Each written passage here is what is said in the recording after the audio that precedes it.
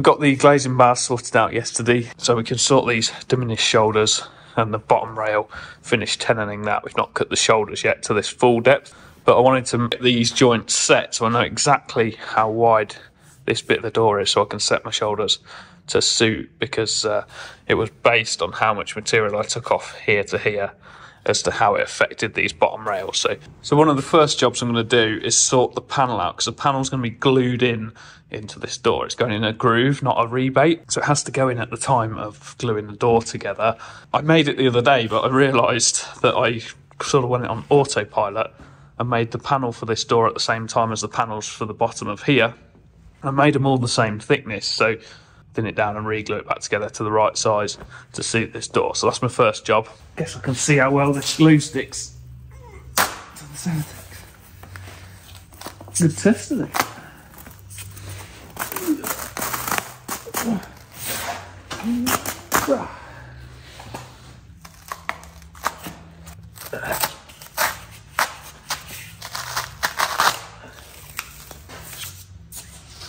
So to thin this down, I'm just pushing it around the circular saw.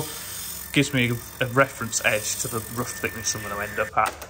And I can just remove the bulk of the material with a hand saw between them two reference edges. Then a pass under the belt sander gives me the final thickness again and I can glue it back together so it wasn't too disastrous.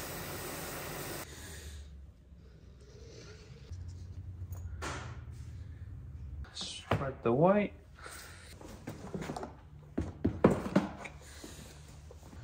With that little job done, let's work on this door. Let's put the tenons on the top and the middle rails. So just going to cut them in accordance with the mortises. So the through tenon here and these lines here are what I need to cut out on the tenon. So whatever that is, I think it's 47 mil. I'm just going to mark 46 mil. Just going to give me one of wiggle room to help with assembly and disassembly.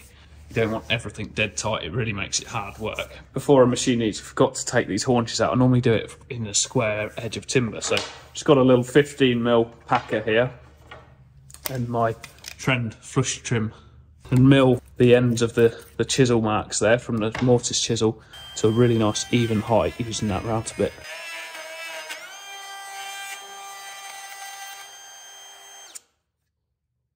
Did manage to do the same thing on these bottom rails despite the fact that haunch is 70 mil down in the tenon but I'm going to keep that secret because it was it's dodgy.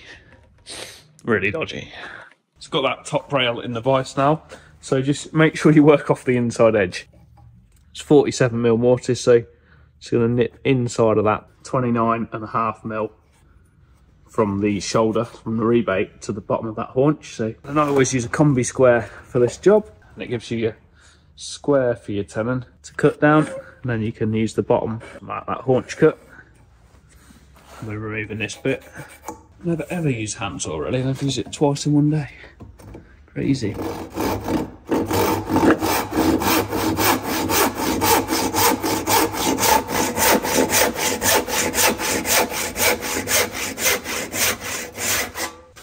Piece of wood up so you cut this vertical and you'll follow the line a lot easier.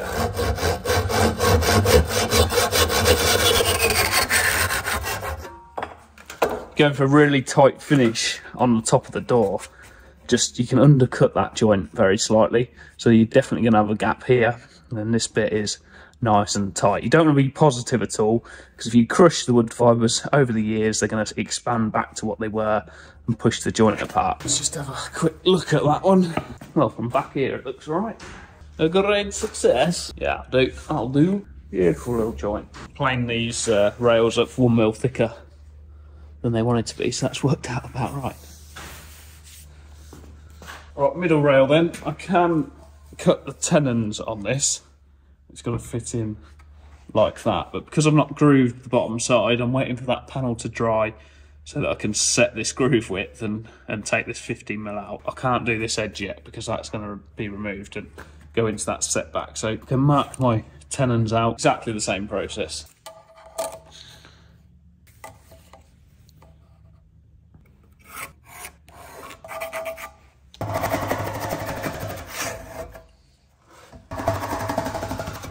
centre tenon doesn't matter so much. You obviously have a better joint if it perfectly matches the counterpart joint, but if this line drops a little bit lower, as long as it's clears, you're going to guarantee that goes together, and it, it, no one will ever know. But I try to get it pretty close so that the glue is is doing something in the joint in that location.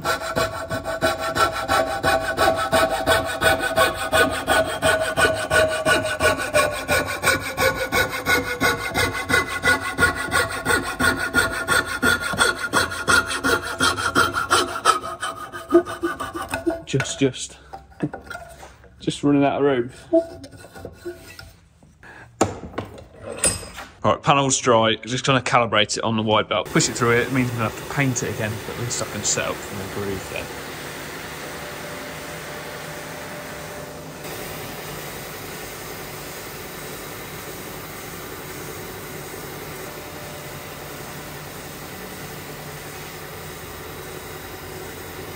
There we go, that's within 0.1 of a mil now. It got one side perfectly flat, then flipped it over. It took about another 0.2 of a mil before it's got pretty much all of that panel flat as well. So shows how much sort of gluing them two together can bow and distort a couple of perfectly flat sheets.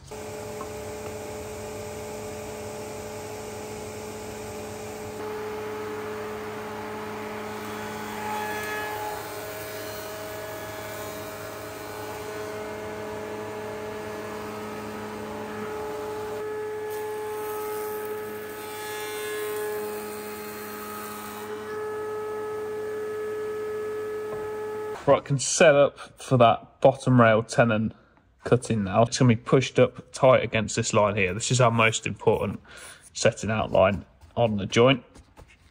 So the rail is going to get pushed right up to that.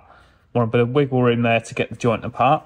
And I've marked on here a tight pencil line. I always mark these in dead tight. And then I've marked a bit of wiggle room there. And I'll just slice that line down so that when that rail gets pushed up to this sort of inside section of the mortise, it also hits this one as well. So it all butts up tight to that position. So now that tenon in the middle rail can go into that joint. It's the right size. I can uh, sort out this bit of scribing down here. So get that in the vise. Called a gunstock stile and a diminished shoulder. Right, so we need this moulding line here, which is going to be I've already cut that scribe on that joint. So if that went all the way through, that joint would go together. So I'm just going to pencil that line in as though it's carrying on. But from this edge of my rail, the sight line of my rail, I know that that moulding is 8 millimeters. Just going to mark that back over there. That's the springing point for this cut. And the other springing point is this one here. So no setback because it's just a groove into the solid piece of wood. So I'm cutting a diminished shoulder from over here down to this cross here. A knife edge like that provides a perfect pivot point.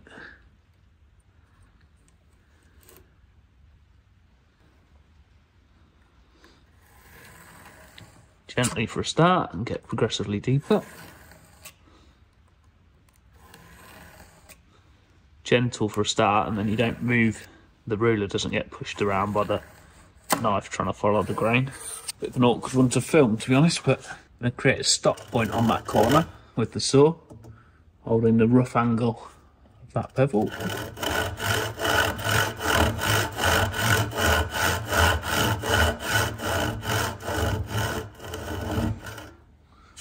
Pray to the Lord himself that the grain is going to be nice to us, which it's not. Have to come at that from the front. Makes it a lot easier having that stop cut in there when the grain's dodgy because you're not fighting that end grain.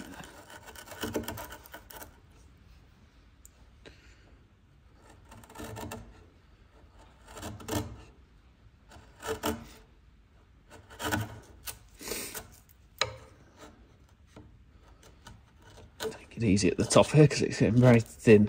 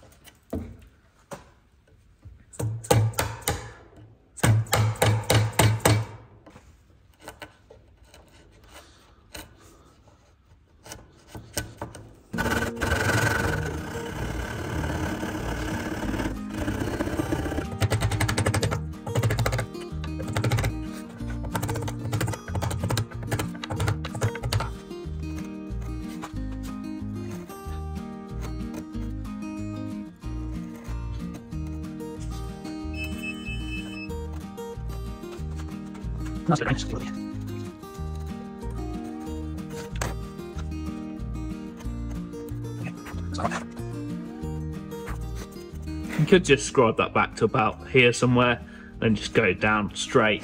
But that's a counterpart of the joint that's in the tenon, so I've just kept to that.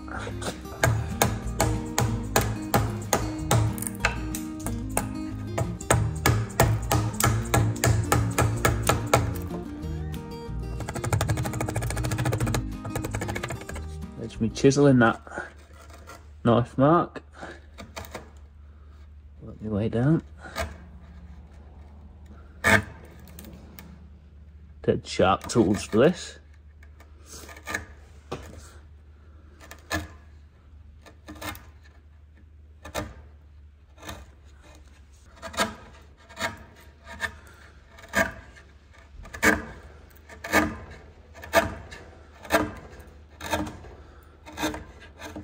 One side done. Do exactly the same on the other side. Slightly simpler on the rebate side because we've not got that bevel to deal with. So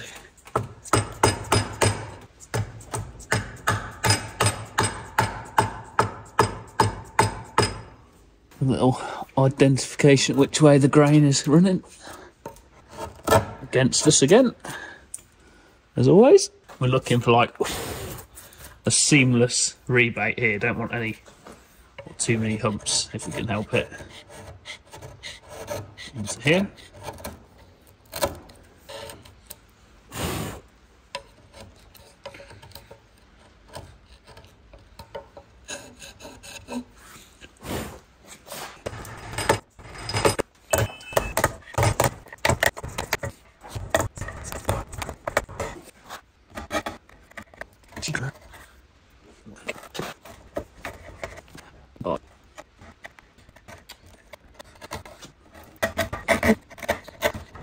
Not ready yet, but I'm just going to push that in.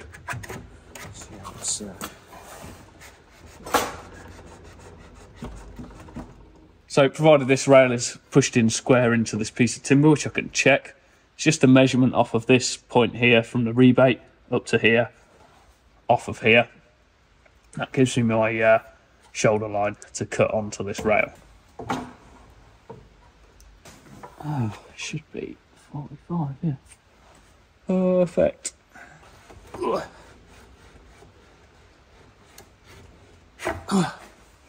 So let's just put a little score mark in there and we'll cheat. We'll use the crosscut saw then.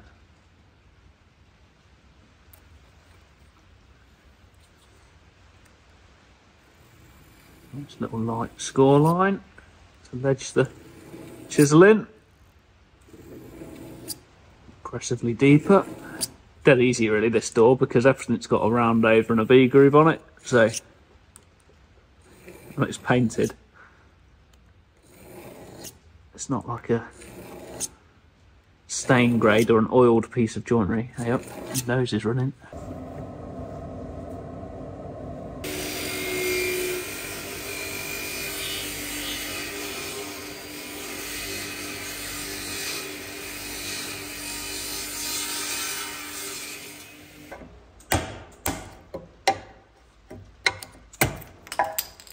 Grain's being quite nice there.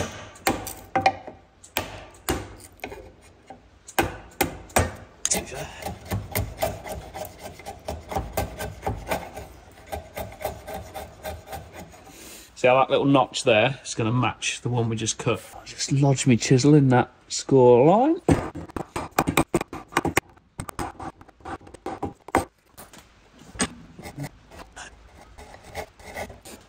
Yeah. Do you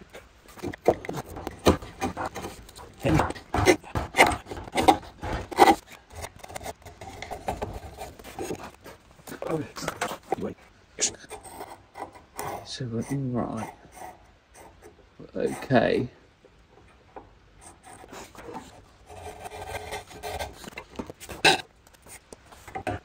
So do the same on the other side. I shan't bore you with that one. This is where you realise that you've not gone to a setback or something. Properly messed up the angles.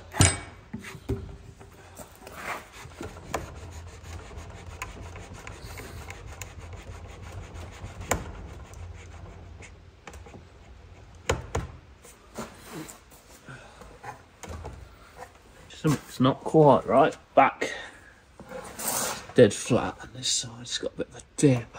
Bit of adjustment required, I think, is the correct term. Let's take a mill off to nothing out of that joint. This is why you want a bit of wiggle room, just to give you a chance to get these apart.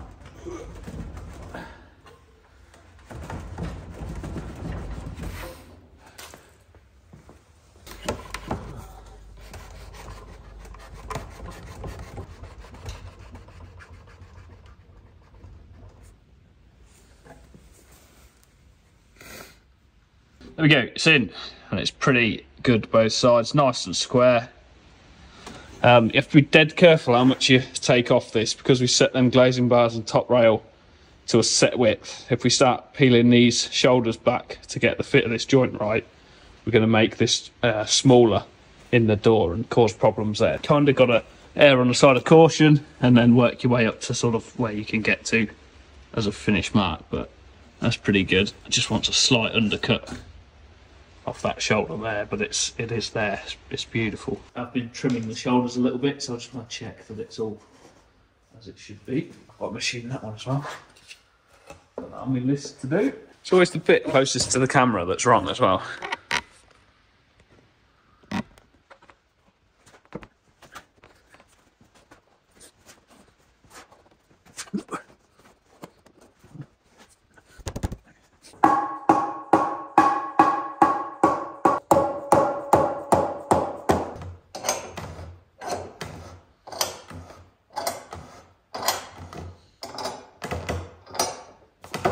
Go, there's my lovely wide door. You can take this measurement from here to that side now, and that is my shoulder measurement for this bottom rail.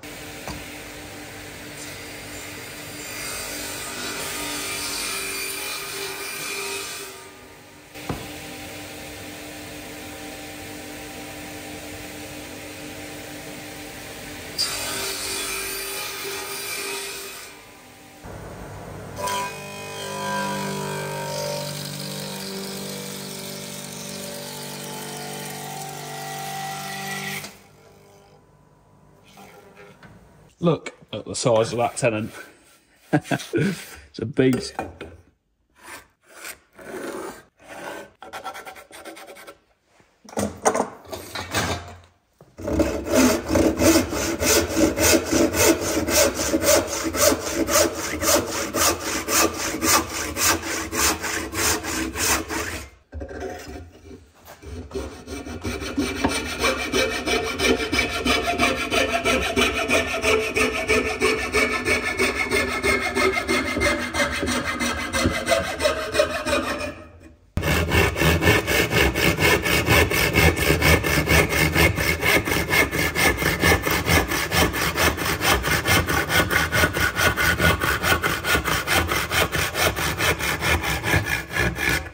A little bit sneaky with these rails. I've just tweaked the tenon to make it very slightly narrower tenon on these on these huge tenons so that pushing them together and taking them apart isn't impossible.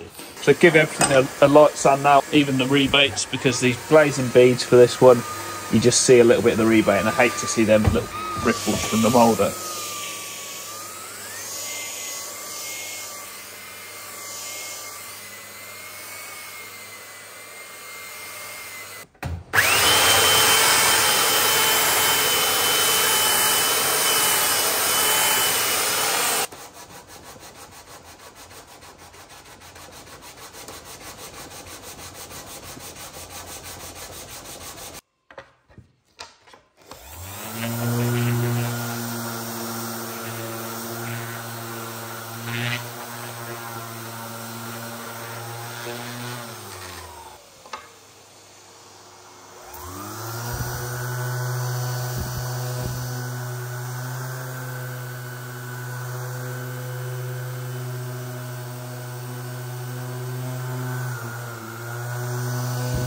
going to take the sharp edge off that top of that moulding as well. So it creates a bit of a V groove at all the joint locations.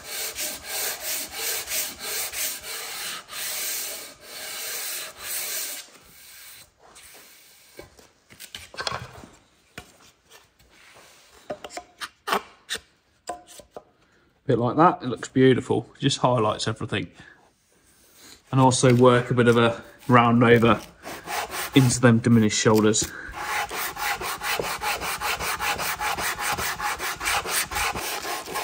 I'm going to put the same round over on the glazing side, but I'm just going to do this diminished shoulder by hand so that I don't, because I've chiselled that shoulder, I don't want the router bearing to follow these uh, divots and stuff and put the same divots in the top surface. So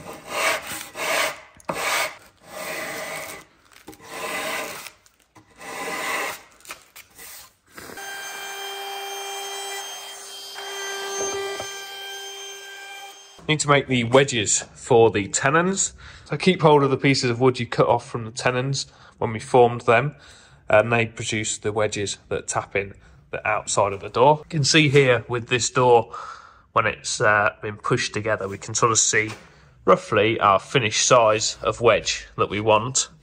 And obviously we know how deep that wedge extends into the board because we've got the piece of wood that we've cut off. Hopefully you can see now um, why I set them out slightly different. So those wedges are fairly even on the outside of the door. I set them out slightly offset. So the top wedge here, look, is the same gap as the bottom one, but on my setting out, there's a smaller section of wood and it's just allowing for that bit of gap you cut in the tenon for wiggle room to assemble and disassemble the joint. So that's how it ends up looking even at the end of the project. Otherwise you end up with a big wedge this side and a little one at the top.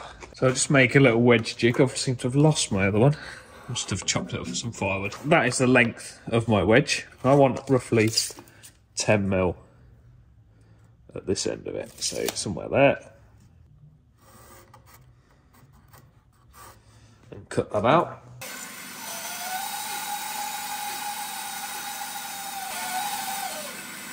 And use that little jig to cut my wedges.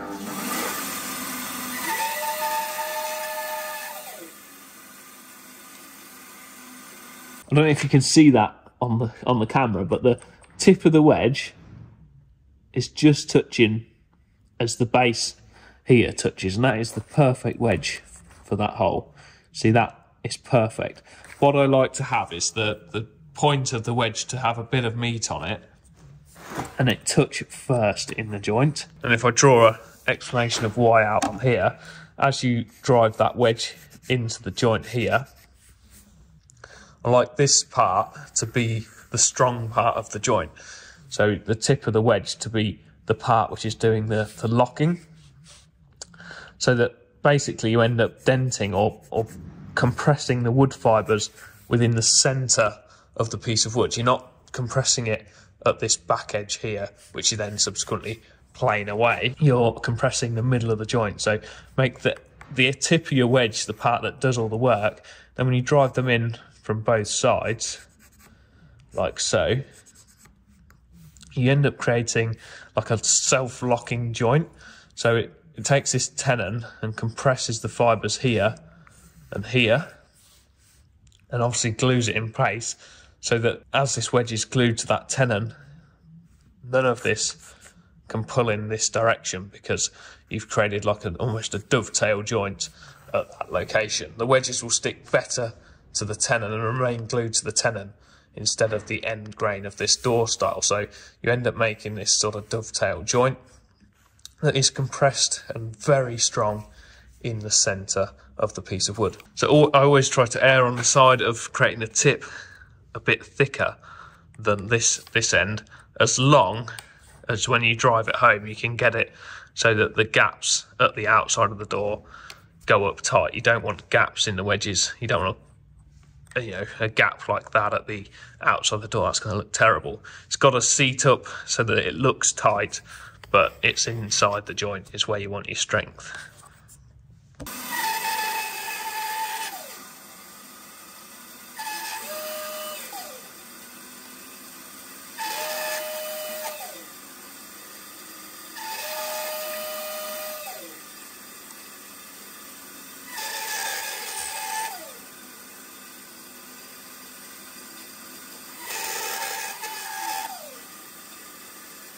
One last thing I'm going to do before I glue this together is put the mortise in for the lock in this stile. So there's going to be a, a rim latch in this rail which sits on the inside of the door.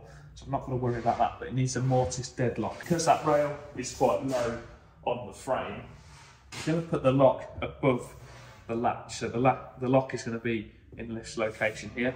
It's going to be really easy to mortise this in on the mortiser while I've got it out the door rather than having to drill it and stuff in a completed door. So I can do that beforehand. So the idea here is to have that lock so the key ends up in the middle of that opening. Somewhere there. Just mark the lock on.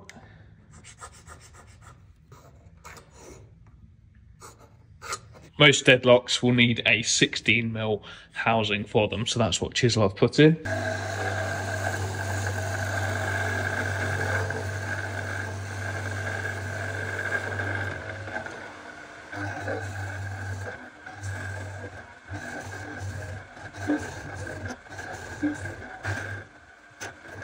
I'm going to end this video here actually. I'm not 100% with it today. I've probably not stitched this filming together well at all. I mean, making a door should be a really good video, and I bet it's uh, not been that great, but uh, I'm feeling about 30% of my normal self. But we're here and we've achieved, so perfect.